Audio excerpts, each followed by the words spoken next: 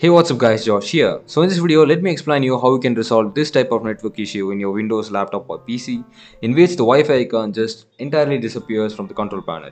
So I recently came across this issue and I sincerely thought that it was a software bug like before in which you know a couple of reboots just resolved the issue. But in my case now this time it didn't seem to be the one.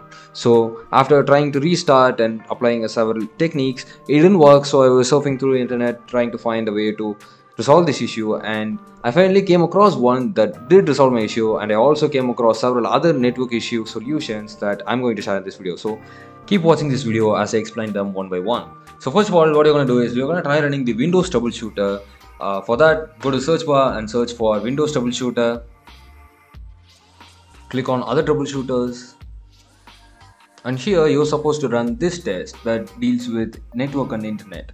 And after running this test if the troubleshooter finds any issues regarding network then it will update you it will provide you with information and necessary steps that you can take to resolve that, that particular issue. But in my case as i have no issues with the internet right now as i've resolved them already. I'm getting this window. Anyway, if that didn't work for you, then let's move on to the next technique in our list, which is to update or roll back the version of the Wi-Fi driver. To apply this technique, go to the search bar and search for Device Manager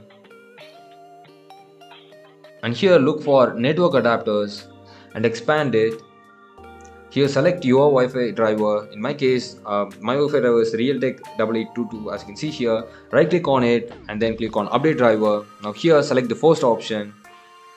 And as you can see here my Wi-Fi driver is up to date so I don't have to um, update it now. If the issue still persists then I have to click on the second option and then select this option. Now here you can see a list of all the drivers Wi-Fi drivers that are available in your PC select any one of these driver from here and then click on next. Now what you're trying to achieve here is we are trying to revert back to a previous version of a Wi-Fi driver in case the new version of Wi-Fi driver is not properly working or is having some conflicts with our Windows configuration so that we can revert back to the previous version which was working fine. Now if this method didn't work for you then you can undo the updation by right clicking on the Wi-Fi driver and clicking on properties then go to this driver section and here you can see this rollback driver option enabled in case you have switched to a new version of Wi-Fi driver. Anyway, if the above mentioned techniques didn't work for you, then let's move on to the next technique in our list which is to go to the same device manager that we have discussed previously and then click on right click on the Wi-Fi driver and click on uninstall device. Now here you have to check this box and then click on uninstall. Now once you have successfully uninstalled the Wi-Fi driver, restart your Windows and then see if the Wi-Fi driver issue has been resolved.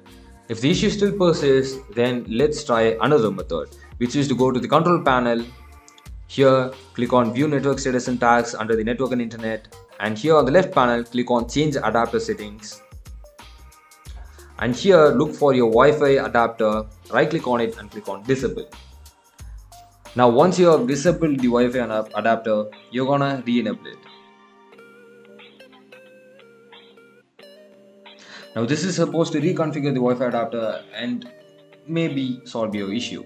Now if it didn't solve your issue, then don't worry, we still have a, a couple of solutions left. For the next method, go to the search bar and search for services. Click here. And in this list of services, we are going to look for the services that are associated with the network and internet. So first of all, we are going to look for the DHCP client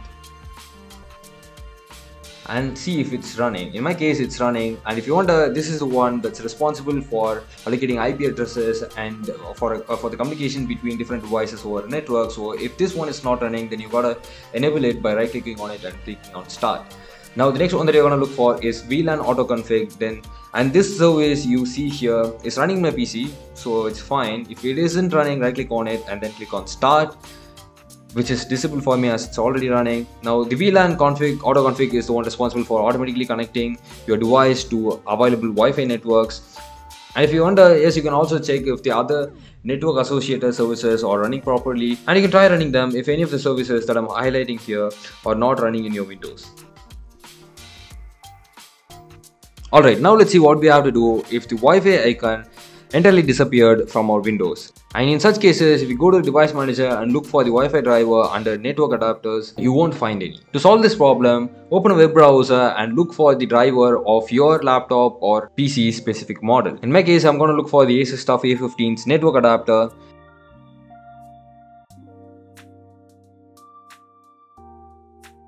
I'm going to download it and once you download it you have to run it and then you may be required to restart your PC and then you are supposed to see the Wi-Fi icon back in your PC like I do. Anyways, if none of the aforementioned techniques worked for you and if you're so concerned about the network then I hope the last technique will work for you. Now this is what is known as a power flush. So in this method what you're going to essentially do is we are going to disconnect our laptop or PC from the power source entirely and then we have to press the power button for 30 seconds continuously which is going to perform the so-called power flush. If you're using a PC, remove the power plug and if you're using a laptop, if you cannot disconnect the laptop's battery, if you don't know how to disconnect the laptop's battery, then you can simply drain the laptop's battery to 0% and then you can perform the power flush. Anyways, that's it for this video guys. I hope at least one of these works for you. Thanks for watching and I'll catch you guys in the next one. Bye.